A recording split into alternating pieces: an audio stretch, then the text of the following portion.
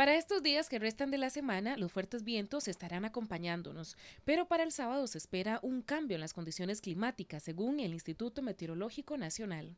Especialmente se estarán percibiendo hacia el Valle Central, también sectores de Guanacaste y las cordilleras. Sí se prevé un cambio en cuanto al patrón ventoso para el fin de semana, donde ya los vientos alisios tienden a reducirse y por tanto podría estar ingresando la humedad proveniente del Pacífico y ocasionar durante las tardes condiciones un poco más nubladas, no solo hacia el Pacífico central y sur, sino que también hacia el Valle Central y aumentando incluso también la posibilidad de algunas lluvias aisladas. Para la próxima semana las lluvias podrían estar presentes en horas de la tarde en algunos sectores del país. Lo que se prevé es que a inicios de la próxima semana se mantengan vientos entre débiles a moderados y por tanto pues existe alguna posibilidad de lluvias especialmente hacia el Pacífico central y sur.